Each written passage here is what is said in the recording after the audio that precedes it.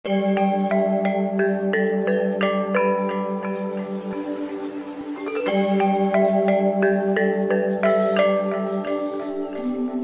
pagi kawan olahraga penggemar bola poli. Saat ini di kota Tabanan Bali, kota yang berada sekitar 21 km dari kota Denpasar Bali, sedang berlangsung kejuaraan nasional antar klub bola poli PBPSI Lipoli tahun 2022. Lipoli diikuti oleh 42 tim dari berbagai kota dan provinsi di Indonesia dan banyak yang bertanya tentang nama dan sejarah Gor Debes yang digunakan sebagai penyus kejuaraan Lipoli saat ini. Dalam berbagai media, banyak presenter menyebutnya the best. Ya bisa saja berarti terbaik. Memang Gor Debes ini merupakan gor terbaik saat ini di kota Tabanan. Padahal sebutan yang benar adalah Gor Debes Gor Debes atau Debes ini diambil dari salah seorang nama pahlawan asal kota Tabanan. Beliau adalah Mayor Igusti Wayan Debes, salah satu pahlawan asal Tabanan yang merupakan pasukan inti dari pasukan Ciungwanara pimpinan Igusti Ngurah Rai yang mana seperti kita ketahui Igusti Ngurah Rai adalah salah satu pahlawan nasional yang juga nama beliau diabadikan menjadi nama bandara di Provinsi Bali.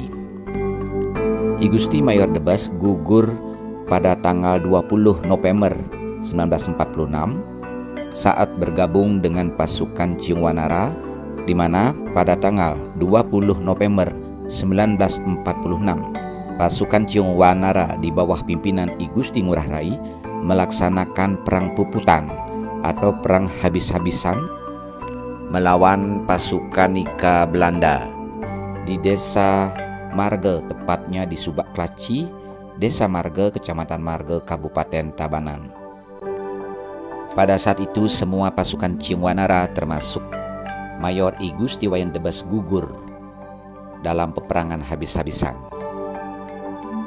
Selain perang puputan, I Gusti Wayan Debas juga pernah berjasa dalam perebutan senjata yang ada di Tangsi Nika di kota Tabanan. Kemudian nama Debes diabadikan menjadi nama jalan di kota Tabanan, juga sekaligus nama kompleks olahraga gelanggang olahraga Debes yang ada di Banjar Gerogak, Desa Dauh Peken, Kabupaten Tabanan.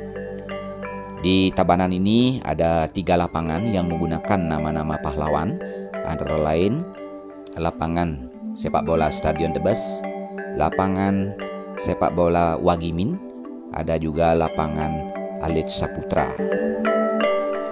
Saudara, Gor Debes dipastikan pembangunannya pertama kali pada tanggal 30 November 2017.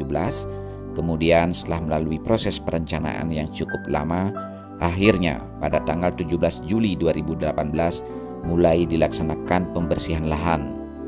Pembangunan Gor Debes dilakukan sebanyak tiga tahap pada tahun 2018 dan 2019 tahap kedua di era Bupati Tabanan Niputu Eka Wiryastuti. Saat itu pembangunan Gor Debes juga dipercepat dalam rangka e, menyongsong Kabupaten Tabanan sebagai tuan rumah Pekan Olahraga Provinsi Bali ke-14 tahun 2019.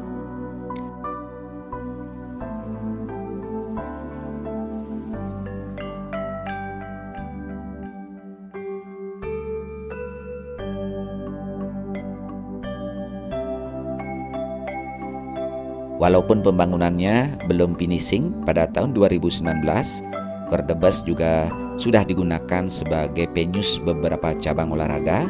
Kemudian pada tahun 2020 pembangunan dihentikan karena ada masa pandemi dan tahap ketiga kemudian dilanjutkan pada tahun 2021.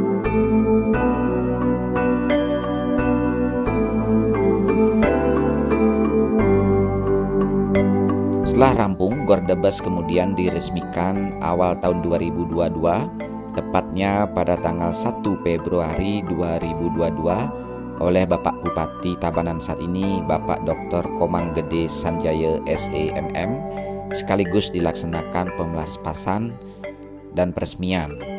Pemelaspasan yaitu upacara berdasarkan agama dan adat istiadat di Bali.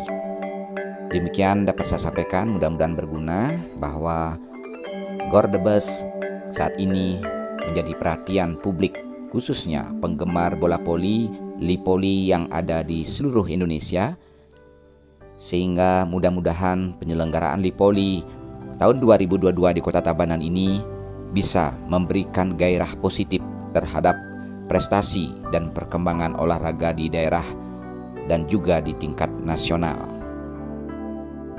Demikian semoga informasi ini bermanfaat. Salam olahraga, salam Lipoli.